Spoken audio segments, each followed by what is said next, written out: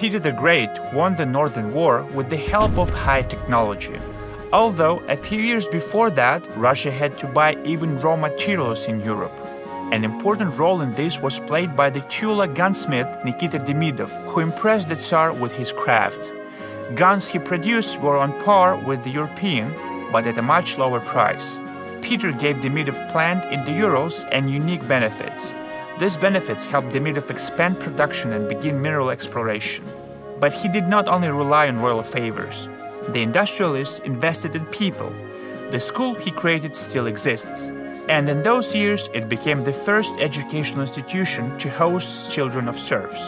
Demidov created his industrial empire, and thanks to his school, Russia began exporting iron and steel.